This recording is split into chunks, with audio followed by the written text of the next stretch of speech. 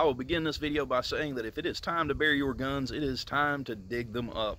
We're definitely living in an odd time, and with many of your friends, neighbors, and family willing to give up some of their basic freedoms for a false sense of security, it's kind of gotten me to thinking about putting some things in the ground. Now, it's not time to put on the tinfoil hats yet, but this past weekend, I recently tried to go from Tennessee into North Carolina and was met by a roadblock. The Graham County Sheriff's Office was sitting there, and if you didn't have North Carolina identification, you were turned around. So the first time in my 38 years, I wasn't allowed to travel from state to state. And that struck me as odd. It kind of alerted me. And then today, I came across the perfect thing that fed my mild paranoia. right here, man. This is an awesome canister that I found at a surplus store. This is the 155 millimeter howitzer. These are the charges. That's the be the, the gunpowder for the cannon. Well, anyway, this is what they store that in. And a little bit of a Google search says that that 155 millimeter howitzer has an effective range of 16,000 yards. That's a gum lot of gunpowder. but check out that lid, man. Let's go ahead and get this thing over on the tailgate so you can look at it. And then, of course, I'm going to show you where I put it in the ground. And we're going to load this thing up with some uh, paranoia goodies. All right, what sold me on this thing is this lid. This is neat. There's a big screw in here that attaches to this triangle with locking lugs. And those locking lugs fit right here into the side. And basically what you do is you give it a twist. Everything lets go. And you can get this very solid lid that has a nice rubber seal. And of course, the military was using this to store gunpowder, so that would seal off real nice, keep the contents nice and dry. So now, you guys are dying to figure out what all we can stick in there. Boom. Dang, we found the bottom finally.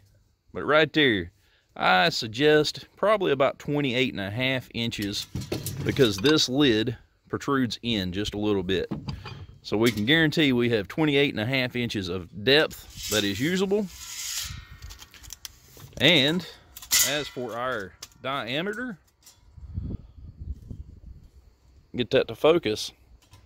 That is six and three quarters of an inch. In the camera, it looks like seven, but definitely a six and three quarters. So six and three quarters in diameter by 28. Imagine all the bug out supplies you can stick in that. But now we're going to go over and show the installation in the dirt. But first, what I have to do is give a shout out to a buddy of mine.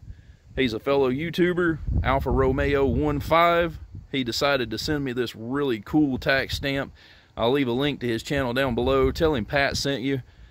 Super thanks, Adam. All right, guys. This thing is definitely hefty, large in charge, and built nicely. So when they drew this up, you can see right there is a drain hole for these ribs. So if they stood up, rainwater would drain out of these ribs.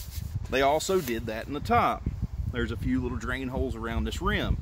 But what I figured would be the Achilles heel to actually getting any longevity out of this thing in the ground is the lid. This is perfectly shaped like a bowl.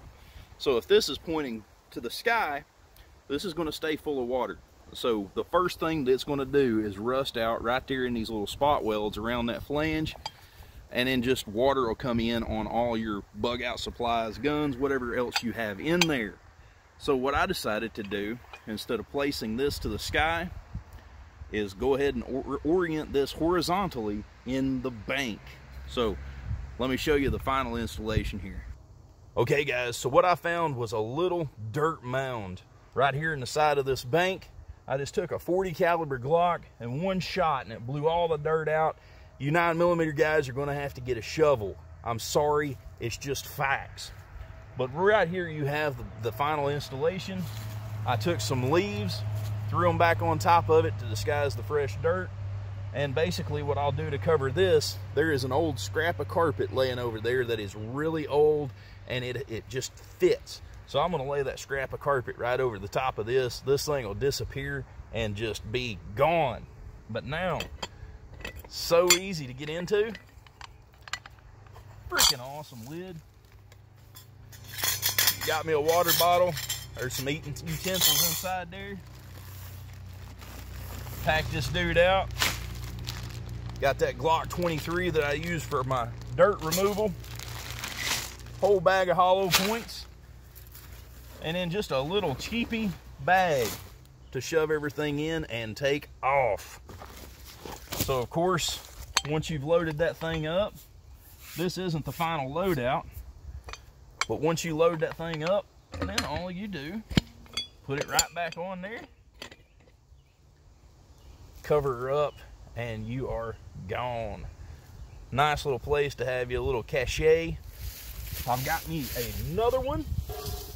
So boom, I have two of these things and I am going to wind up running around and putting me another one in. So strategically placed, I'll have another one buried and I'll have plenty of places to hide my stuff.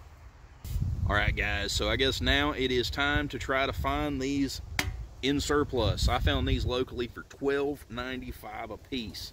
That was a daggum bargain. I bet you can't even ship them for $12.95 a piece. But as for what they will hold, I have broken down an AR-15, upper and lower, and fit both a 16 inch upper with an optic and a lower inside here with a few magazines. I have fit that backpack, some ammo, a Glock, a little mess kit, a canteen, a few other things. There is quite a bit of space in here. I think it come out to, I, forget the numbers, it was roughly a thousand cubic inches. So this thing has got plenty of room to stick some stuff. And uh, at, at my case, it was a very affordable price. $12.95, you can't beat it. Now, as for alternative installations, I deliberately brought this one away from the house. But if you were so inclined to put it in your house, this would work out really good in your attic. Put it in your joists, throw insulation back over the top of it, they'll never find it.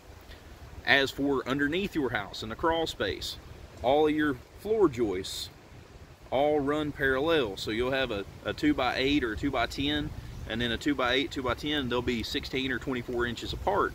You could put you some webbing and strap this thing to the floor of your house. So if you were to ever get uh, broken into or an, an unconstitutional search, they'd never find it. They'd be nice and tucked up up against your floorboard, airtight, watertight, ready to rock when you need it.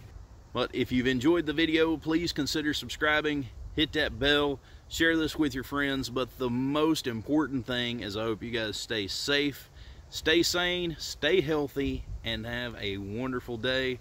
We'll see you next video. I know you guys are wondering, you can stick a dang lot of toilet paper in this thing.